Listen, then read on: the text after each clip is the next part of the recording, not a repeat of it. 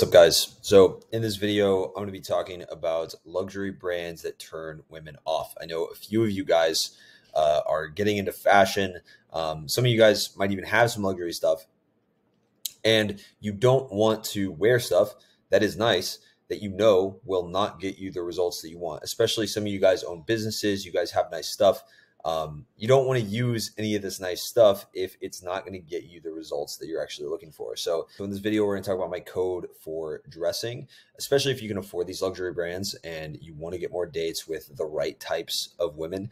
You want to avoid the brands that can really attract the wrong types of women and you want to uh, wear stuff that is nice that makes you look your best without attracting the wrong types of women okay? Talk about three types of luxury brands and how to spend your money more effectively okay? You can still spend a lot of money on clothes. I actually really do suggest that if you can not necessarily important but if you can you should do it. But there's a way smarter way to do it than just buying designer stuff okay? So there's three main categories of luxury brands.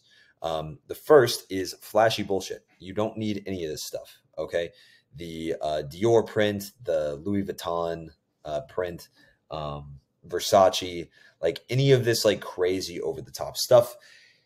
It's too basic and it's also way too flashy. I, I don't like it. I, I've never been a fan of it. It just says, hey, look at me, I have money.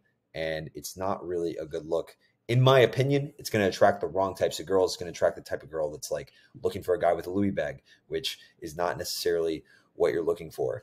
Um, same thing with off-white stuff or any any stuff that like is hypey that will go out of style quickly, unless you want to keep just buying a bunch of bunch of bullshit, which is fine if you want to do that. But a lot of this hype stuff, like off-white specifically, I haven't seen an off-white shirt in the wild in years, but it was super trendy, you know, 2019, 2020, that kind of era. And uh, I still see some guys wear it, but it's way less trendy now. Um, and it's probably going to be become even less trendy in the future, right? So the second type is, hey, I'm not broke. All right. So the second type of luxury brand is like I have a Rolex, it's recognizable. I have maybe a Louis bag, but it doesn't have the crazy flashy print, um, like a Cartier bracelet. You know, if you want to spend some money, have nice stuff. Most people know what these brands are. They most mostly know what these things are. Okay. It's gonna be obvious you have money, but it's not flashy. It's not trying to show this stuff off. Okay. The biggest thing when it comes to showing that you have money especially when it is you know coming to attracting women is small things. Like having a rolex is cool but what's more powerful than that is how you pay the bill. So you know grabbing the grabbing your server on the way to the bathroom and squaring away the bill before like with no one seeing. So it's almost like magic right? Stuff like that where like she doesn't even have to think about money on your date right? She doesn't have to think about the fact that someone's paying. It doesn't even seem like someone's paying. It's just happening okay? So you know, when, when you're talking about these luxury brands and, and wearing nice stuff, that matters a lot more than this. But if you want to show that you have money, and that's an important part of your life, um, and you want to do that to kind of impress her almost, but not even really to impress her, really just to like show, hey, I'm, I'm not a broke bitch, right? If you want to show that, which is very high value, you want to do it in a more simplistic way that's more relaxed, more laid back, okay?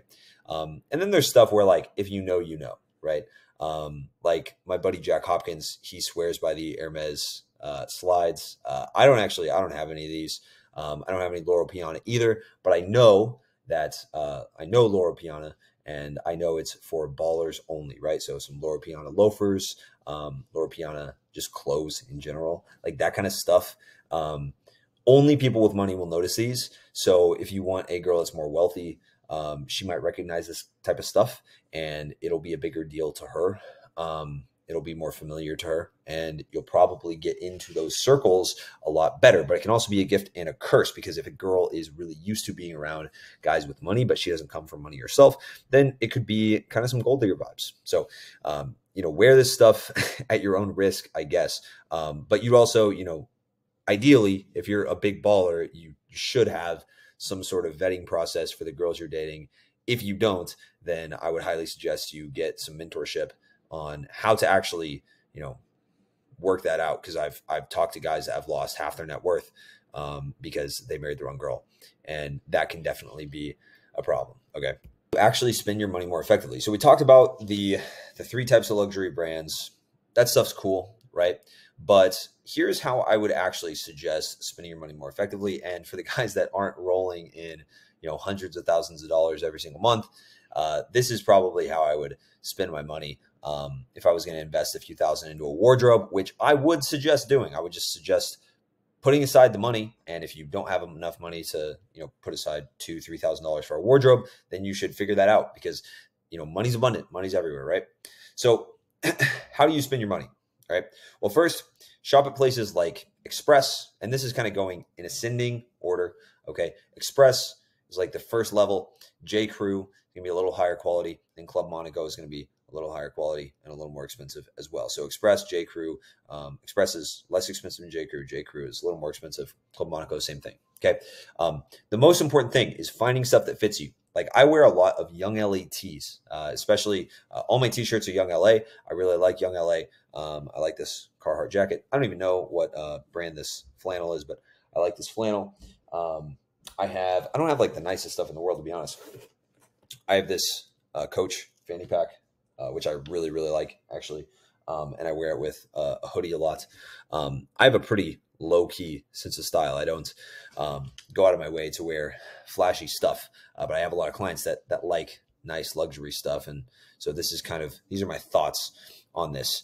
Um, if you're going to get stuff at Express, J. Crew, Club Monaco, these things probably won't be fully tailored to you. Obviously, clothes generally aren't, um, especially if you're like me. I'm tall. I have you know a long torso and everything. It's things don't fit me perfectly. Uh, so uh, other than like Young LA tees, they actually fit me really well. But I would get everything tailored to you. You can actually get them altered and um, spend less money than you would on like a thousand dollar uh, fucking hoodie or something, right? So you can spend a thousand dollars on a hoodie, or you spend a hundred dollars on a shirt, and then seventy five bucks to get you know altered, and then it's one hundred seventy five for like a, a sweater. And yeah, that's a lot, but it's also fitting you perfectly. It makes you look really fucking good. Okay. Um, which is huge. And you really only need like two or three outfits to go out at um, at the end of the day, right? Target. And then getting it tailored, getting it altered to your body is going to be better than a shit Gucci sweater. So this has been my guide on. So this has been my guide, boys, on how to rock luxury brands when it comes to dating.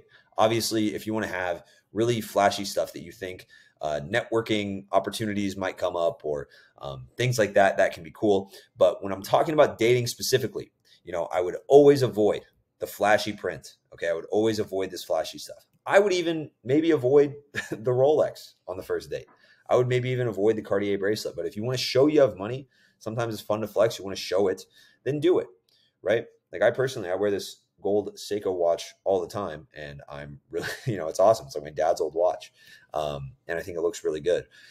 If you're going to go anywhere with luxury brands, then um, like past, you know, J. Crew and Club Monaco, I would go with like crazy, crazy, uh, nice but expensive stuff. That is like if you know, you know. So um, that's going to maximize your your networking opportunities with high level guys that really understand like what is nice shit um, you know, you can you can have a pair of Gucci shoes here and there, whatever, but um, I don't think it's going to really make much of a difference because the thing is with these lower level brands or even these like middle brands like a Louis bag or something like that, like you're not actually in a tier of inaccessibility. Like broke people just run their credit card and go into debt and get these things. So, you know, you're a little bit showing you have money, but it's a lot better to show you have money through how you act.